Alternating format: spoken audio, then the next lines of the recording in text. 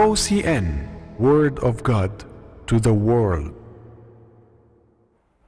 Hello, welcome to the program The Transformers, coming to you from the OCN Broadcasting here in Los Angeles, California.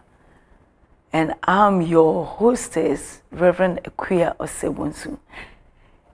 And the, the, our previous studies, we started the topic on identity.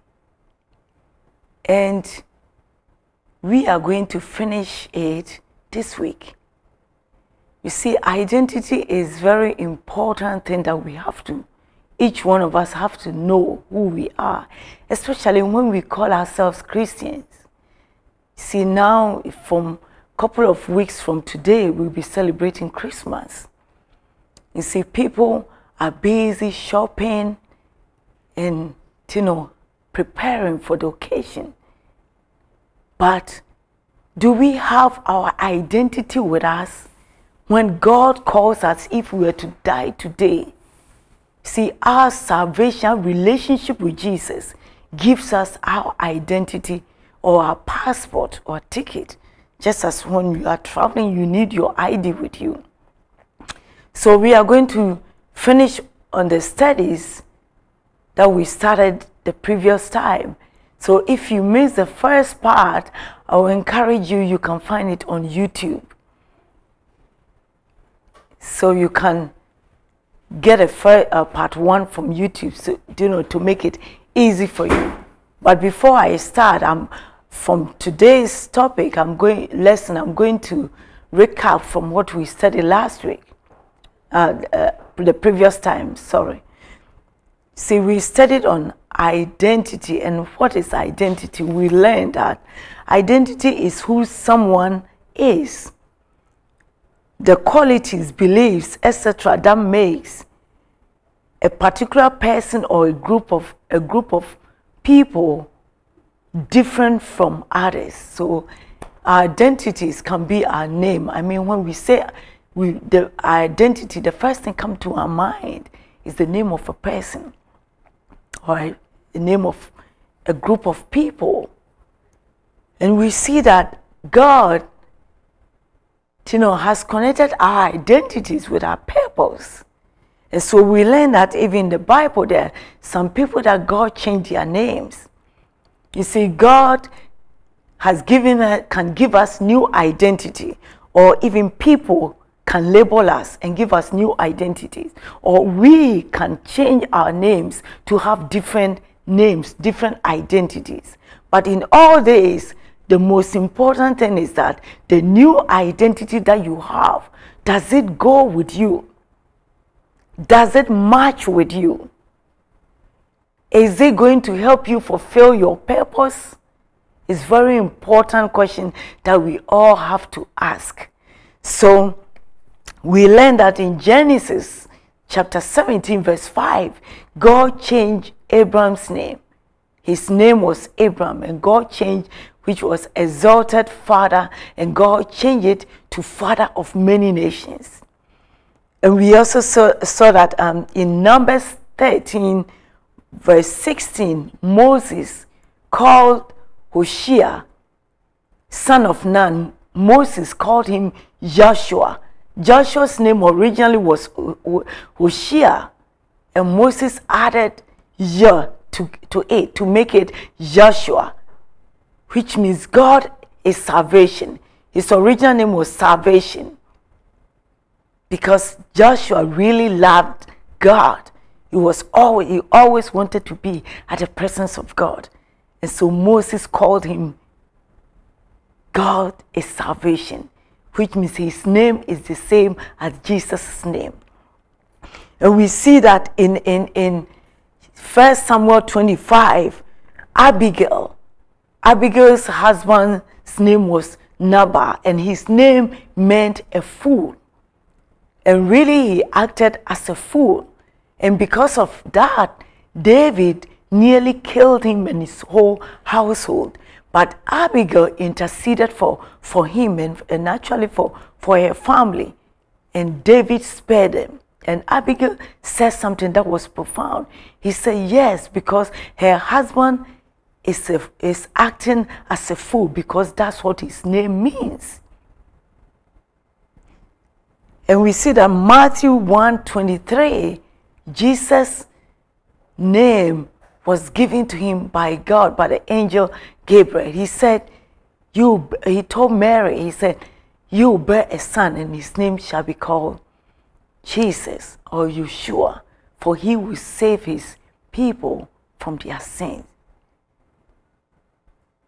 For he will save his people. That's what his purpose was to save us from our sins. See, sometimes people name their children, they don't even know the meaning of the names. And then they just give the names to them. You see, in the Bible, we re read about Jabez. I believe most of you have heard about the prayer of Jabez. His mom called him Jabez because he gave birth to him in pain. And Jabez suffered, but God changed his destiny. So it's very important that we watch even the name that we give to our children. Even some of us too have we have good names for our children, but then we change their names with our own spoken words by labeling them, calling them fool. You are a fool. You are a fool, and then your child start acting like a fool because of the words that you are speaking. So we for the sake of time, I'm not going to go deep because we have a lot to cover today. And we learn about. Actually, I want to read one scripture and then we go from there. John chapter, the Gospel of John 1, verse 14. He said, But to as many as did receive and welcome him, he gave the authority, power, privilege, right to become the children of God. That is, to those who believed in, adhere to, trust in, and rely on His name. See, the Bible says, as many who believe in Jesus, God has given us new identities. That is so good. God has given us new identities. So, it means we've been adopted by God. Just as when somebody adopts a child, the person gets takes your name, your last name, which means that the person, the child, has got a new name. The child is yours. Even though the child is not your biological child, the child legally is your child because you have adopted that child. Why did you adopt that child? You did that because you love that child. So, in the same way, God loves us and He has given us new names. He has adopted us to be part of His family. So, whenever you adopt a child, that child has some privileges. You see, when you have children and you adopt a child into your house, the child goes to your fridge. Just as your own biological children go to the fridge, they don't ask permission before they go to the fridge because they know that that is yours.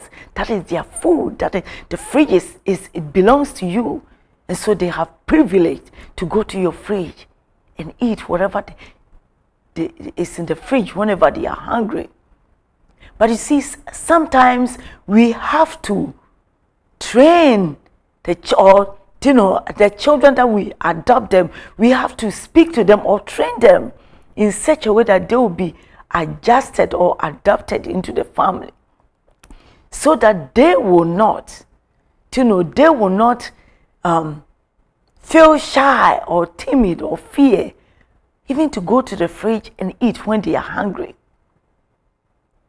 Because if we don't do that some of the children may still feel the, uh, the orphan spirit will still be be in them because they, they feel that you know they don't belong to that family. So we have to train those children you know for them to be adjusted and see that they belong they are part of the family. So there are some privileges that we have whenever we, we become the children of God, or we accept Jesus as our Lord and Savior. One of them that we learned was that we share inheritance with the Lord Jesus Christ.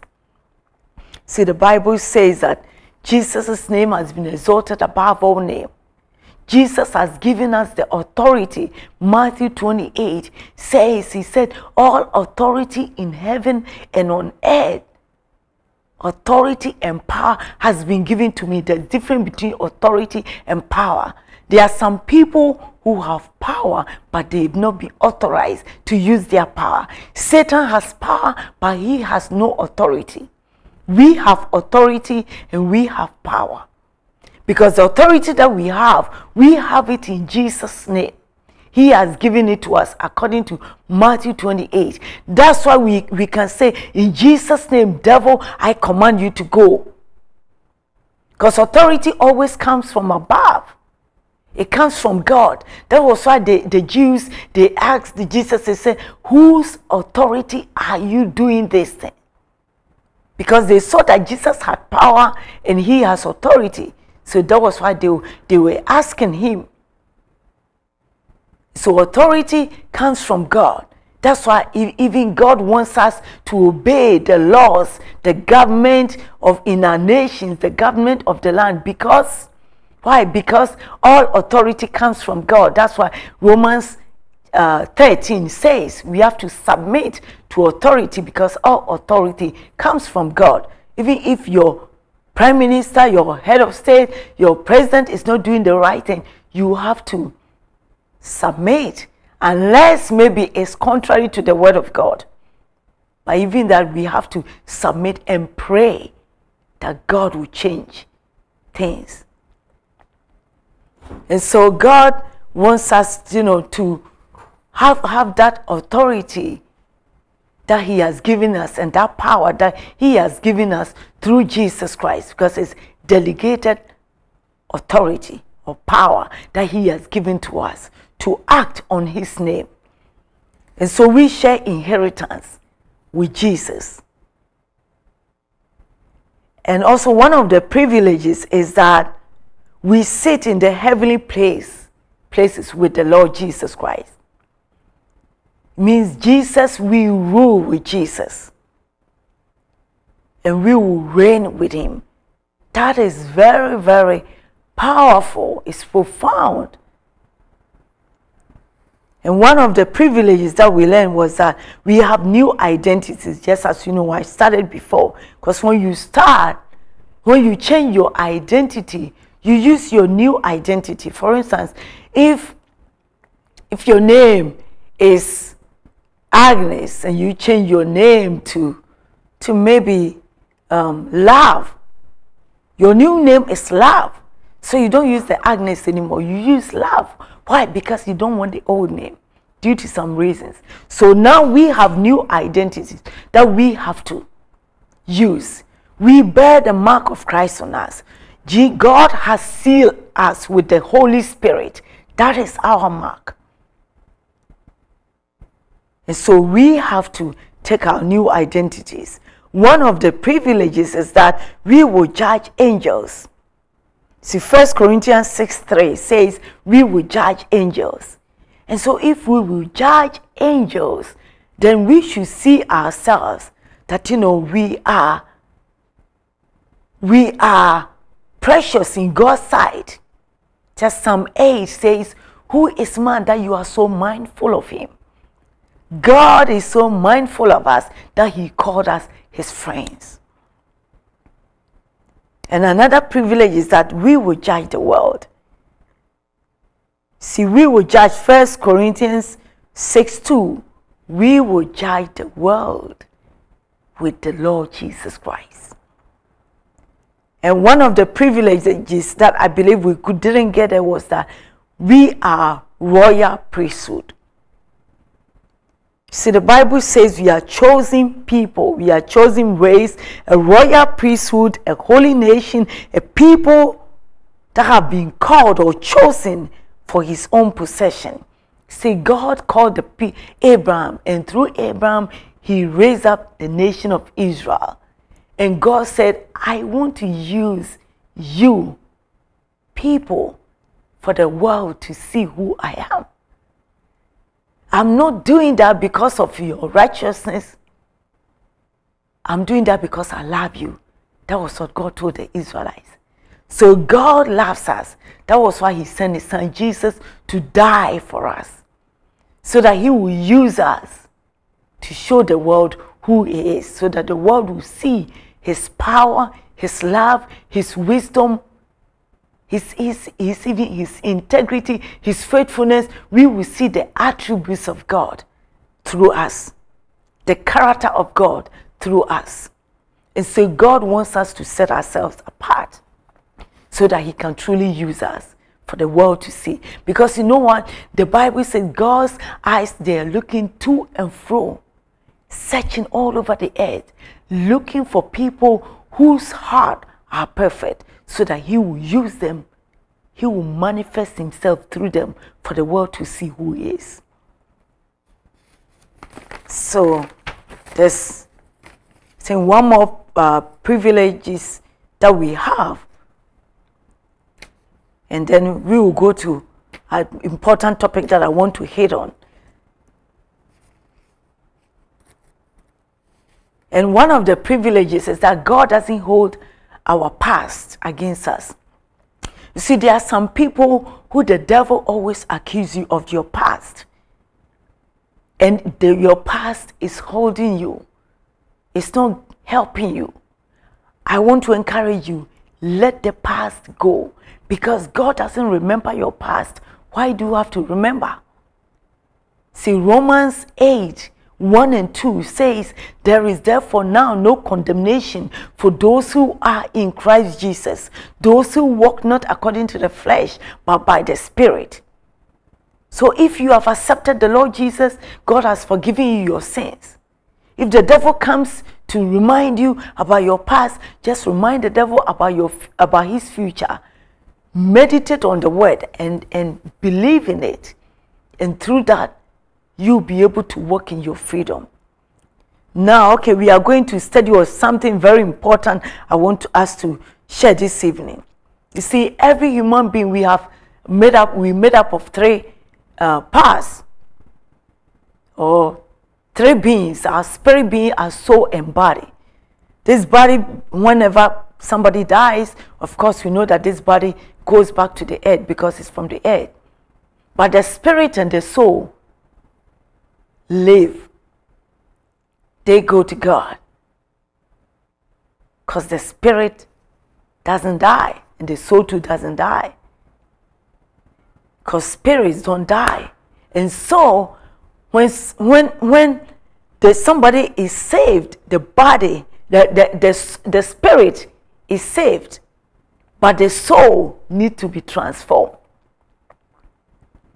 So that's why this program is transforming. So, how are we going to train our soul, our, our mind? You see, the soul is, is, is your, your mind, your will, and your emotions. So, we have to find a way of training our souls so that we will be able to, you know, to walk in the way God wants us to go. Because Romans 12, he said we should renew our mind once, Romans 12, 1 and 2, that we should renew, um, let our minds be renewed. We should offer our bodies as living sacrifice unto God and let our minds be renewed and that we shouldn't we should not be conformed to the things of this world but be transformed so if we don't, re- we can't renew our minds, we cannot be transformed. And if we can't be transformed, then it's very serious because God wants us to change from one state to another, just as we see the butterfly change from the egg to the egg and then to the larva to the pupa to the butterfly because that was that's how the that word um, um, change or uh, transform comes from metamorpho for metamorphosis that we have the word metamorphosis in, in biology. So it's just like we have to change from one state to another, but we have to be growing and developing to be like Christ. And so one of the things I want us to see is that read the scriptures. Reading the scriptures is very important for us to be able to you know to train our mind because you see, we have to train our mind like we train our pets or we train our, our, our children. If you have a pet, I believe you this is you understand this point or you have a child you have to tell the pet sit down sit down couple of times for the dog to understand or the pet to understand sit down means he has to sit down and then go out. You have to train, you have to train the child. So uh, the child or the pet. So in the same way, we have to train our minds to take what is pure, what is good, what is pleasing, what is acceptable before God. So whenever any thought comes to your mind, what you have to do is to, you have to cast that thought out. You take it and then you take it, you use the word of God. But if you we don't know the scriptures, it will be hard for us to do that. So we have to speak the word of God that those who are led by this, those who are led by the Spirit of God, they are the sons and daughters of God. It's written, devil, and then cast it out from your mind, so that and then replace it with the mind of Christ, with the thoughts that are pure, holy, so that you can walk in righteousness and holiness. So, like if you don't have any Bible, you need to get a Bible. If you have a Bible, you don't know how to study the Bible, you can get a devotional book that every day it will give you some scriptures that you have to read so that you, you have to discipline yourself. Because you see, if you don't discipline yourself, you can't do it. You can't do it. Because even the word disciple comes from the word discipline. So you have to know, each one of us have to know how to, we have to discipline ourselves. Like athletes they discipline themselves so that they will be able to be fit and and and and, and get a, the medal that they, they are pursuing. So we have to discipline our mind ourselves of, of reading the bible and also putting the right thing in our minds because garbage in garbage out we have to put the right thing in our mind and the second one is speak the word of god over your life or over your situation. You see, there's power in the spoken word. We have to be mindful of that. I remember I read um, a book by Dr. Paul Yonggi Cho of South Korea. He's got a very big church in South Korea, and he was saying uh, how one of his friends, who is a neurosurgeon, was telling him about the power of, um, of about the nerve speech nerve, that the speech nerve controls all the nerves in the brain. So if the speech nerve says, I'm tired, all the nerves, you know, follow the, the speech nerve. So that's why the Bible was is saying that we have to be good listeners, we have to be slow to uh, quick to listen, but slow to speak. And that we should confess positive words because the spoken word is very important. What word do we speak to our spouses? What words do we speak to our children? Are they positive or negative? So we have to be mindful, even if the doctor has given you a, a negative report now. I believe it's time for you to speak life over yourself, to believe in God or, the Word of God, stand on the Word of God and speak positive word over, over yourself. And as you speak the positive word over and over, it goes deep into your mind, into your, your brains, into your soul, and then you see that things will start changing in your situation, in your life, in your marriage, in every area of your life. is very important. And one of the things too is that you know, replacing negative um, thought with positive. It's, it's very important that we obey God because Second Corinthians chapter chapter 10, 3 to 6, he said, uh, uh, the weapons that we fight with, they are not carnal, but they are mighty through God for the pulling down of strongholds. But at the same time, if you read downwards, he said, we take every thought captive and bring it to the obedience of Christ. And we should be ready to punish every act of disobedience. So any spirit or any thought that will exalt itself above the word of God or the knowledge of God, we must be ready to cast that spirit out we must be ready to punish the devil. But then our obedience must be complete. So which means for us to be able to cast the devil out, to resist the devil, we have to know how to submit to God. We have to know how to yield to the Spirit of God. Because when we are disobeying God, we can't cast the devil out. The devil will, will, will, will just, you know, triumph over us. He's going to triumph over us and he is going to spank us. He's really going to give us big, a, a very strong beatings. So we have to know the word of God, submit to God, then we, we resist the devil because the Bible says, submit to God and resist the devil, and he will flee. So it's a principles, it's a kingdom principles. The kingdom of God is principles. We have to obey God. Even though we are royalties, we don't have our own right to do whatever we want because royalties have to submit to the king. The subordinates, they everybody has to submit to the king. The king's word is final. So in the same way, God's word is final. We have to take God's word and we have to submit to one another and submit to God so that we can resist the devil, so that we can take our new identities and walk in complete freedom because it's a must. We need to walk in it. And that we walk with power, with authority, just as the police walk with authority because they have been authorized by the government to, to, you know, to arrest or criminals or to arrest anything that is contrary to the law. So we also have to take our identities. Now our time is coming to an end. I want to encourage, encourage you viewers to write to OCN, write the address. The information is on the screen. Write to us and share your testimony with us because we want to share the, your testimony with other people because we overcome the enemy with the blood of Jesus and with the word of our testimony. And also, I want to encourage you to support this network financially. Go to the website, already you're on the website. So you go to the to the donate button and then hit it and then donate to this network so that we'll be able to broadcast 24-7 because that's the heart of God for us to reach the whole world with the gospel of the kingdom. So I want to pray. I have about two minutes. I want to pray for you now. And also you can mail in your check the address will be on the screen.